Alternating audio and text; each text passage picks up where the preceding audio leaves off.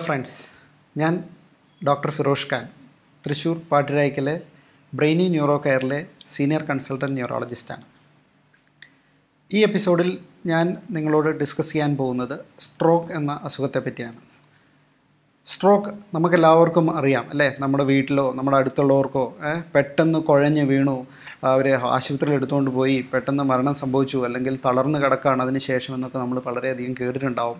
നമ്മുടെ കുടുംബത്തിൽ തന്നെ ഉണ്ടാവും. അതിന് ശേഷം അങ്ങനെയുള്ളവരെ നമ്മൾ പരിചരിച്ചിട്ടുള്ള പരിചയം ചിലപ്പോൾ ഉണ്ടാവാം. അപ്പോൾ എന്താണിത്? നമുക്കെല്ലാവർക്കും ഭയങ്കര പേടിയുള്ളൊരു കാര്യമാണ് അല്ലേ? ഇത് പേടിക്കേണ്ടതുണ്ടോ?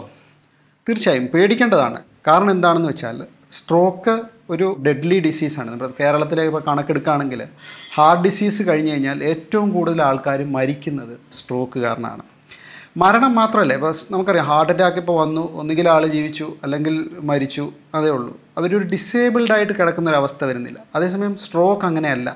സ്ട്രോക്കിൽ വരുന്നതിൽ ഒരു മുപ്പത് ശതമാനം ആൾക്കാർ ഡിസേബിൾഡ് ആണ്. അതിനുശേഷം അവർ വൈകല്യമായി കിടക്കുകയാണ് വേറൊരാളുടെ പരിചരണം കംപ്ലീറ്റ് ആയിട്ട് വേണ്ട ഒരു അവസ്ഥയിലായി പോവുകയും ചെയ്യാം. നമ്മൾ പറയില്ലേ ത്രിശങ്കു സ്വർഗം എന്നൊക്കെ പറയുന്ന പോലെ മരണവുമില്ല ജീവിതവും ഇല്ലാത്തൊരു തൃശങ്കു അവസ്ഥയിൽ കിടന്നു പോകാം അപ്പോൾ അതാണ് അതിന്റെ ഏറ്റവും വലിയ ബുദ്ധിമുട്ട് അല്ലേ?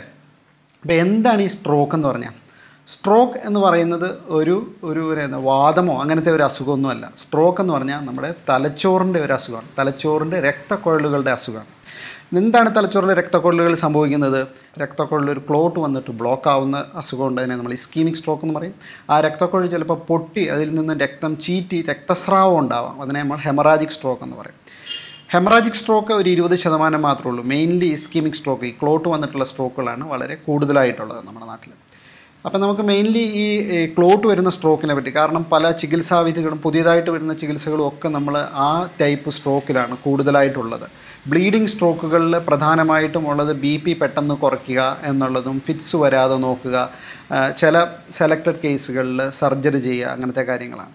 അതേസമയം ഇസ്കീമിക് സ്ട്രോക്ക് ഈ ക്ലോട്ട് വരുന്ന സ്ട്രോക്കുകളിൽ നമുക്ക് പലതും ചെയ്യാൻ പറ്റും. ഇപ്പം കഴിഞ്ഞ ആയിരത്തി തൊള്ളായിരത്തി തൊണ്ണൂറ്റി അഞ്ചുകൾക്ക് ശേഷം വളരെ വളരെ പുതിയ പുതിയ ചികിത്സാ രീതികൾ വന്നുകൊണ്ടിരിക്കുകയാണ്. അടുത്ത കാലത്ത് രണ്ടായിരത്തി പതിനാലിൽ പിന്നെ പതിനാല് പതിനഞ്ചിൽ അതിനേക്കാൾ ഒരു പുതിയ ജമ്പൂടെ അതിനകത്ത് ഉണ്ടായിട്ടുണ്ട് എന്ന് വെച്ചാൽ നമുക്ക് ആ ക്ലോട്ട് എടുത്ത് കളയാവുന്ന മെക്കാനിക്കൽ പരിപാടികൾ വരെ വന്നിട്ടുണ്ട്. അപ്പോൾ അതാണ് ഇപ്പോൾ നമ്മൾ സ്ട്രോക്കിനെ പറ്റി അറിയേണ്ടതിന്റെ. അപ്പോൾ നമുക്കത് പെട്ടെന്നൊന്ന് കണ്ടുപിടിക്കാൻ പറ്റിയാൽ നമുക്കതിന് പെട്ടെന്ന് ചികിത്സ കൊടുക്കുകയും ആൾക്കാരെ പലരെ രക്ഷപ്പെടുത്താൻ പറ്റുകയും ചെയ്യും. നമ്മുടെ വീട്ടുകാരാണേലും നമ്മുടെ സുഹൃത്തുക്കളാണേലും നാട്ടുകാരാണേലും നമ്മൾ കാണുന്ന ചിലപ്പോൾ നമ്മൾ ഒരു സ്ട്രേഞ്ചർ ആയിരിക്കാം. നമ്മൾ ഒരു ബസ് സ്റ്റാൻഡിൽ നിൽക്കുമ്പോഴായിരിക്കും ഒരാൾ കുഴഞ്ഞു വീഴുന്നത് കാണുന്നത്. അയാളെ പോലും നമുക്ക് രക്ഷിക്കാൻ പറ്റും. അയാളുടെ ഫർദർ ജീവിതം അയാളുടെ ഫാമിലിയുടെ ജീവിതമാണ് നമ്മൾ രക്ഷിക്കുന്നത് ആ ഒരു അഞ്ച് മിനിറ്റിലെ നമ്മുടെ ആക്ഷനിൽ കൂടെ. ആർക്കാണ് ഈ സ്ട്രോക്ക് വരുന്നത്? നമുക്ക് ആദ്യം അതിനെപ്പറ്റി സംസാരിക്കാം. സ്ട്രോക്ക് നമ്മൾ പലരും കേട്ടിട്ടുണ്ട്. പ്രായമുള്ളവർക്കാണ്. പ്രായമുള്ളവർക്ക് തന്നെ ആവണം എന്നില്ല. ചെറുപ്പക്കാർക്ക് പോലും ഇപ്പം കൂടുതൽ കൂടുതലായിട്ട് സ്ട്രോക്ക് വരുന്നുണ്ട് അല്ലേ? എങ്കിലും കൂടുതലും അത് പ്രായമുള്ളവരിലാണ് വരുന്നത്. അപ്പോൾ പ്രായം നമുക്ക് മോഡിഫൈ ചെയ്യാൻ പറ്റാത്തൊരു റിസ്ക് ഫാക്ടറാണ് അപ്പോൾ പ്രായം പോലെ തന്നെ വേറെ നമുക്ക് മോഡിഫൈ ചെയ്യാൻ പറ്റാത്ത ഒരു റിസ്ക് ഫാക്ടർ എന്ന് പറഞ്ഞു കഴിഞ്ഞാൽ മെയിൽ ജെൻഡർ കൂടുതൽ മെയിൽസിനാണ് ആണുങ്ങൾക്കാണ് കൂടുതൽ വരിക എന്നുള്ളത്. ഈ പ്രായവും ഇതും നമുക്ക് മാറ്റാൻ പറ്റില്ല. പിന്നെ പാരമ്പര്യം. പല ആൾക്കാർക്കും ഹാർട്ട് ഡിസീസും സ്ട്രോക്കും പാരമ്പര്യമായിട്ട് വരാം. സോ അത് നമുക്ക് മാറ്റാൻ പറ്റില്ല. അതേസമയം നമുക്ക് മാറ്റാവുന്ന ചില കാര്യങ്ങളുണ്ട്. ഉദാഹരണത്തിന് പുകവലി മദ്യപാനം ഹൈ കൊളസ്ട്രോൾ പ്രഷർ ഷുഗർ ഇങ്ങനത്തെ കാര്യങ്ങളൊക്കെ നമുക്ക് കൺട്രോൾ ചെയ്ത് വെച്ച് കഴിഞ്ഞാൽ സ്ട്രോക്ക് വരുന്നത് നമുക്ക് ഒരു പരിധി വരെ ഒഴിവാക്കാൻ സാധിക്കും. ഇനി സ്ട്രോക്ക് വന്നാൽ ഒരാൾക്ക് നമുക്ക് അടുത്തുള്ള ആൾക്കൊരു സ്ട്രോക്കാണോ വരുന്നത് നമുക്ക് സംശയം. എങ്ങനെയാണ് മനസ്സിലാക്കുക? വളരെ സിമ്പിളാണ് മൂന്ന് കാര്യങ്ങൾ നോക്കിയാൽ മതി. നമ്മുടെ ആൾക്ക് എന്തോ ഒരു ബുദ്ധിമുട്ട് പോലെ നമുക്ക് തോന്നിയെന്ന് വെക്കുക. അപ്പോൾ നമ്മൾ എന്താ ചെയ്യുക? ആദ്യം അയാളുടെ മുഖത്തേക്ക് നോക്കുക. മുഖത്തിൽ ചെറിയൊരു സൈഡിലേക്ക് കൂടിപ്പോയിട്ടുണ്ടോ ഉണ്ടെന്നുണ്ടെങ്കിൽ അത് ഒന്ന്. രണ്ട് അപ്പോൾ കൈ പൊക്കാൻ പറയുക ആളോട് അല്ലെ കാൽ പൊക്കാൻ പറയുക. കൈയും കാലും അങ്ങോട്ട് പൊക്കാൻ പറ്റാത്തൊരവസ്ഥ വരുന്നു. അന അനങ്ങുന്നില്ല. അല്ലെങ്കിൽ വളരെ പതുക്കെ അനക്കാൻ പറ്റുന്നുള്ളൂ. അപ്പോൾ അത് നമ്മൾ അനക്കാൻ പറ്റാത്തൊരവസ്ഥ. അതൊരു ബലക്കുറവ് വന്നു. അതാണ് രണ്ടാമത്തെ കാര്യം. മൂന്നാമത്തെ കാര്യം സംസാരം. സ്പീച്ചിൽ എന്താണ്? അത് സ്പീച്ച് സംസാരം വളരെ സ്ലേഡായിട്ട് കൊഞ്ഞിപ്പായിട്ട് പറയുകയാണോ? അത് നമ്മൾ പറയുന്നത് അങ്ങോട്ട് മനസ്സിലാവുന്നില്ലേ? ആ മൂന്ന് ഈ മൂന്ന് കാര്യങ്ങളുണ്ടെങ്കിൽ ആൾക്കൊരു സ്ട്രോക്കാണ്. അതാണ് ഏറ്റവും സിമ്പിളായിട്ട് നമ്മൾ മനസ്സിലാക്കുക.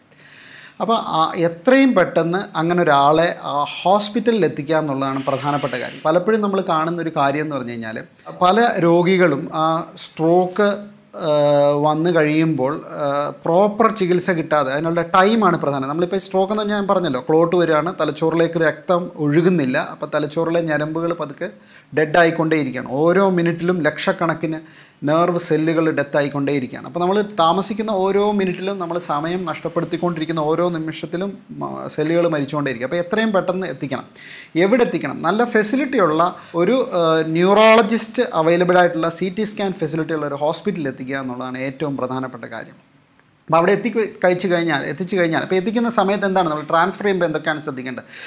കഴിയുമെന്നുണ്ടെങ്കിൽ ആളെ കിടത്തിക്കൊണ്ട് തന്നെ കാരണം കിടത്തുമ്പോൾ തലയിലേക്കുള്ള ബ്ലഡ് ഫ്ലോ കുറച്ചുകൂടെ കൂട്ടാൻ പറ്റും നമുക്ക്. അതാണ് പ്രധാനപ്പെട്ട ഒരു കാര്യം. പക്ഷേ ആസ്പിറേറ്റ് ചെയ്യാൻ പാടില്ല. എന്ന് വെച്ച് കഴിഞ്ഞാൽ കിടക്കുമ്പോൾ ചില ഛർദ്ദിക്കുകയോ വല്ലതും ചെയ്യുകയാണെങ്കിൽ നേരെ നെഞ്ചിലേക്ക് പോകും. അപ്പോൾ അങ്ങനെ ഛർദ്ദി പോലെ വല്ലതും തോന്നിയാൽ ആളെ ചരിച്ച് കിടത്താം നമുക്ക്. എന്നിട്ട് എത്രയും പെട്ടെന്ന് എത്തിക്കുകയാണ്. പിന്നെ എത്ര പറ്റുമെന്നുണ്ടെങ്കിൽ ഇപ്പോൾ എല്ലാ ഇതുപോലത്തെ വലിയ ഹോസ്പിറ്റലുകളും സ്ട്രോക്ക് ഹെൽപ്പ് ലൈൻ നമ്പറുകളുണ്ട് നമുക്ക്. അപ്പോൾ ഹെൽപ്പ് ലൈൻ നമ്പറുകളുള്ളിടത്ത് നമുക്ക് ആ ഹെൽപ്പ് ലൈൻ നമ്പറിലേക്ക് നേരത്തെ തന്നെ വിളിച്ച് അപ്പോയിൻമെന്റ് എടുത്തിട്ട് പോവുകയാണെങ്കിൽ നമുക്ക് ആ കാഷ്വാലിറ്റിയിലെ ഡിലേ നമുക്ക് ഒഴിവാക്കാൻ പറ്റും. പെട്ടെന്ന് തന്നെ അവിടെ എത്തിയിട്ടുള്ള കാര്യങ്ങൾ ചെയ്യാൻ പറ്റും. ഇനി അവിടെ എത്തിക്കഴിഞ്ഞാൽ എന്താ ചെയ്യുക നമുക്ക് പ്രധാനമായിട്ടും ഉള്ള ട്രീറ്റ്മെന്റ് എന്ന് പറഞ്ഞാൽ ഈ ക്ലോട്ട് വന്ന സ്ട്രോക്ക് ആണോ എന്നുള്ളത് നമ്മൾ പെട്ടെന്ന് കൺഫേം ചെയ്യാനെടുത്ത് ഒരു സി ടി സ്കാൻ എടുക്കും. എം ആർ ഐ സ്കാനിലെടുത്താണ് എം ആർ ഐ സ്കാൻ ആവശ്യമുണ്ടെങ്കിൽ ഡോക്ടർ അതെടുക്കും എന്നിട്ട് ആ ക്ലോട്ടാണ് എന്ന് കണ്ടുപിടിച്ച് കഴിഞ്ഞാൽ ആ ടൈം പീരീഡിനുള്ളിൽ നമുക്കൊരു നാല് നാലര മണിക്കൂറിനുള്ളിലാണെന്നെങ്കിൽ ആ ക്ലോട്ട് അലിയിച്ചു കളയാനുള്ള ഇഞ്ചക്ഷൻ നമുക്ക് വെയിനിൽ കൂടെ സിരകളിൽ കൂടെ തന്നെ തരുന്ന തരം ഇഞ്ചക്ഷൻ ഉണ്ട്. അത് ചെയ്യാം. ഇനിയും ഒരു ആറ് മണിക്കൂറിനുള്ളിലാണെന്നുണ്ടെന്നുണ്ടെങ്കിൽ സ്പെഷ്യലൈസ് ഞാൻ മുമ്പേ പറഞ്ഞ പോലെ സ്പെഷ്യലൈസ്ഡ് ട്രീറ്റ്മെന്റ് ഉണ്ട്. ഡയറക്റ്റ്ലി നമുക്ക് ആ ക്ലോട്ടിനടുത്തേക്ക് എത്തിയിട്ട് രക്തക്കുഴലിനുള്ളിൽ കൂടെ ഒരു നേരത്തെ ട്യൂബ് കടത്തിവിട്ട് കത്തീറ്റർ കടത്തിവിട്ട് ആ, ആ ക്ലോട്ടിനടുത്തേക്ക് എത്തിയിട്ട് ആ ക്ലോട്ടിനെ അലിയിച്ച് കളയോ ക്ലോട്ടിനെ വലിച്ചെടുക്കുകയോ അങ്ങനെ ചെയ്തിട്ട് ബ്ലഡ് ഫ്ലോ പുനഃസ്ഥാപിക്കുകയോ ചെയ്യാനുള്ള ചികിത്സാ രീതികളും ഇന്ന് അവൈലബിൾ ആണ്. ഇത് വളരെ വളരെ പ്രധാനപ്പെട്ട ഒരു കാര്യമാണ്. കാര്യം നമ്മൾ സമയം താമസിക്കും തോറും നമുക്ക് എത്താൻ അല്ലെങ്കിൽ ആ ഈ ചികിത്സാവിധികൾ കൊടുക്കാനുള്ള പീരീഡ് കഴിഞ്ഞു പോകും. കഴിഞ്ഞു പോയി കഴിഞ്ഞ് കഴിഞ്ഞാൽ നമുക്കറിയാം പണ്ടത്തെ പോലെ നമുക്ക് വെറും ഫിസിയോതെറാപ്പിയോ അങ്ങനത്തെ കാര്യങ്ങൾ മാത്രമേ ചെയ്യാൻ പറ്റുള്ളൂ. ഇനിയും സ്ട്രോക്ക് വന്നു പോയി എന്ന് നോക്കാം. നമ്മുടെ വീട്ടിലൊരാൾക്ക് സ്ട്രോക്ക് വന്നു പോയി. അത് കഴിഞ്ഞാൽ പിന്നെ നമ്മൾ എങ്ങനെ ഇനി ഒരു സ്ട്രോക്ക് വരാതിരിക്കാൻ. ഒരു പ്രാവശ്യം സ്ട്രോക്ക് വന്നിട്ടുള്ളവർക്കാണ് പിന്നെയും വരാനുള്ള സാധ്യത കൂടുതൽ. അപ്പോൾ പിന്നെ വരാതിരിക്കാനുള്ള മരുന്നുകൾ ഡോക്ടർ പ്രിസ്ക്രൈബ് ചെയ്യുന്നുണ്ടാവും. ആസ്പിരിൻ മുതലായ മരുന്നുകൾ. അത് തുടർച്ചയായും കൃത്യമായും കൊടുത്തിരിക്കണം. പലപ്പോഴും നമ്മൾ കാണുന്നൊരു കാര്യം സ്ട്രോക്ക് വന്നു ഞാൻ അതിൽ നിന്ന് രക്ഷപ്പെട്ടു ആ അസുഖം കഴിഞ്ഞു. അങ്ങനെ ഒരിക്കലും വിചാരിക്കാൻ പാടില്ല. ഒരിക്കൽ സ്ട്രോക്കോ ഹാർട്ട് ഡിസീസോ വന്നു കഴിഞ്ഞാൽ പിന്നെയും അത് വരാനുള്ള ചാൻസ് വളരെ കൂടുതലാണ്. അതുകൊണ്ട് നിർബന്ധമായും ആ മരുന്ന് തുടർച്ചയായി കഴിച്ചിരിക്കണം. ഡോക്ടറെ കൃത്യമായ സമയത്ത് ഫോളോ അപ്പ് ചെയ്തിരിക്കണം. ചില ആൾക്കാർക്ക് തലച്ചോറിലേക്കുള്ള രക്തക്കൊഴലുകളിൽ ബ്ലോക്ക് വന്നിട്ടുണ്ടാവും. ആ ബ്ലോക്ക് നമുക്ക് നീക്കം ചെയ്യാനുള്ള ചികിത്സാ രീതികൾ കരോട്ടിഡ് സ്റ്റിനോസിസ് എന്നൊക്കെ പറയും. അങ്ങനത്തെ കാര്യങ്ങൾ നമുക്കുണ്ടാവാം ചെയ്യാൻ പറ്റും.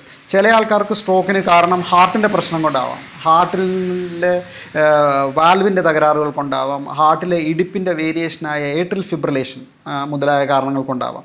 അപ്പോൾ അതൊക്കെ നമ്മൾ ആ സ്ട്രോക്ക് കഴിഞ്ഞിട്ടുള്ള സമയത്ത് അതിനുവേണ്ടിയുള്ള ഇവാലുവേഷൻസ് നടക്കുകയും അത് എന്തുകൊണ്ടാണെന്നുള്ളത് കണ്ടുപിടിക്കുകയും ചെയ്തിട്ട് ആ കാരണത്തിന് നമ്മൾ ചികിത്സിക്കുകയും ചെയ്യാൻ പറ്റും. അപ്പോൾ അത് പിന്നീട് സ്ട്രോക്ക് വരാതിരിക്കാണ് ഇനി സ്ട്രോക്ക് വന്ന ആളെ പരിചരിക്കുന്ന കാര്യത്തിൽ നമ്മൾ സ്ട്രോക്ക് വന്നു പോയി എന്ന് പറഞ്ഞ് ജീവിതം കഴിഞ്ഞു പോയി എന്നില്ല. ഒരു കാരണവശാലും. പലപ്പോഴും തളർച്ച ഉണ്ടായിരുന്ന ആൾക്കാർ പ്രത്യേകിച്ച് അധികം പ്രായമില്ലാത്ത ആൾക്കാരെ നമുക്ക് ജീവിതത്തിലേക്ക് പുനർ പുനരധിവസിപ്പിക്കാൻ പറ്റും. പുനരധിവാസ മാർഗങ്ങളായ ഫിസിയോതെറാപ്പി സ്പീച്ച് തെറാപ്പി മുതലായ കാര്യങ്ങൾ ഡോക്ടറുടെ നിർദ്ദേശാനുസരണം കൃത്യമായി ചെയ്യുന്നതും വളരെ നല്ല ഗുണം ചെയ്യും. അപ്പം ചുരുക്കി പറഞ്ഞാൽ സ്ട്രോക്ക് നമ്മൾ ഒരു കാരണവശാലും ഭയങ്കര ഭയത്തോടു കൂടി കാണേണ്ട കാര്യമില്ല. നമ്മുടെ ആക്ഷൻ ആണ് ഏറ്റവും പ്രധാനപ്പെട്ട കാര്യം. ആ ആക്ഷനാണ് പ്രധാനം. എത്രയും പെട്ടെന്ന് ഒരു നല്ല ഫെസിലിറ്റി ഉള്ള ന്യൂറോളജിസ്റ്റ് അവൈലബിൾ ആയിട്ടുള്ള ഒരു സെന്ററിൽ എത്തുകയും പെട്ടെന്ന് ചികിത്സാ രീതികൾ എടുക്കുകയും ചെയ്യും. പിന്നെ തുടർ ചികിത്സ തുടരുകയും ചെയ്യുക എന്നുള്ളതാണ് ഏറ്റവും പ്രധാനപ്പെട്ട കാര്യം. നന്ദി നമസ്കാരം.